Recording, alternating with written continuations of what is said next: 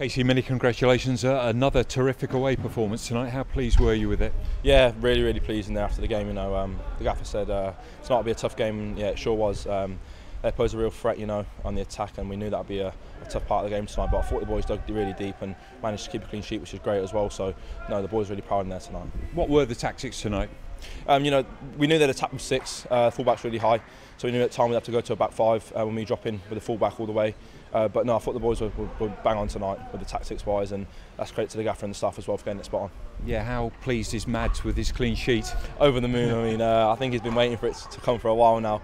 Uh, but even like Mad says, you know, the boys in front of him tonight, Yannick, wow, everyone, everyone in front of him have been mag- magnificent tonight. You know, a lot of balls into the box, a lot of corners, but we defended really well, and you know, we can be proud of ourselves tonight. What a save it was from Shane Duffy. Honestly, at point blank, I think it was. Um, you know, when it came over, I saw the flight of it, and he's got a great contact on it. And Mad, you know, he's pulled out of worldie, so credit to him, he was unbelievable tonight. The easiest goal you've ever scored?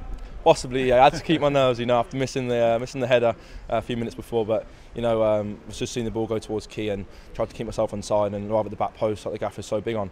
Um, and yeah, like you say, it was an empty net, so I couldn't really miss. What's with the celebration?